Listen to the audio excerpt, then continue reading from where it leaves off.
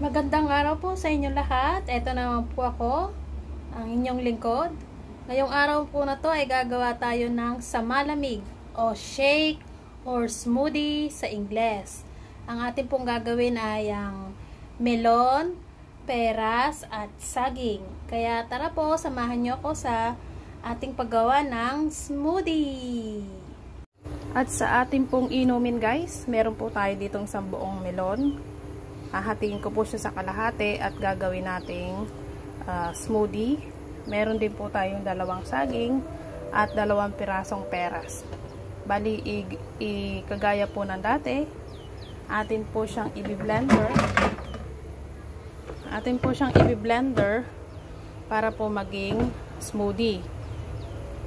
Hindi po ako naglalagay ng asukal at saka gatas. Yelo lang po nilalagay ko at konting tubig.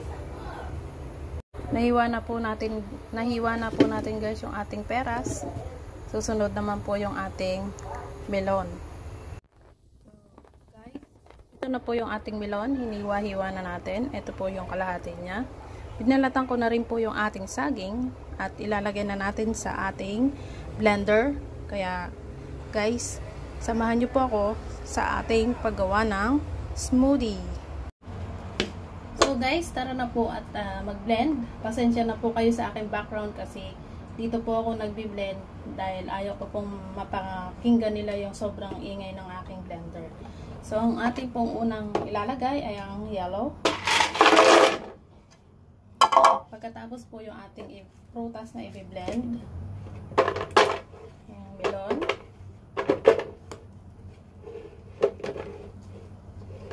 Ito po yung saging. Malulusaw naman po siya.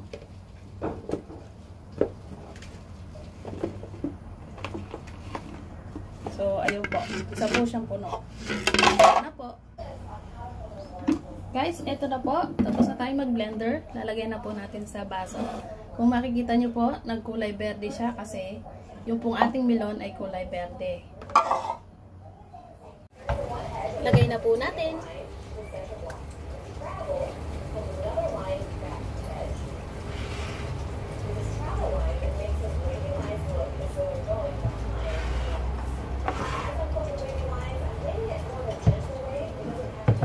At tikman natin.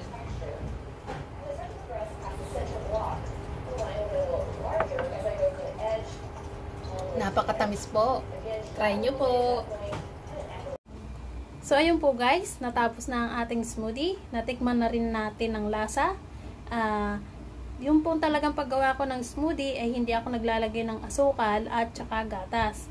Kasi po, para po malasahan natin ang talagang normal na lasa ng mga prutas. At saka nandun po yung mga vitamina ng prutas. Kaya marami po salamat sa panonood. At don't forget to like, comment, and subscribe to my channel And pakipindot na rin po ang notification bell para po sa next video ko ay kayo ang unang makakakita. Marami pong salamat guys. God bless!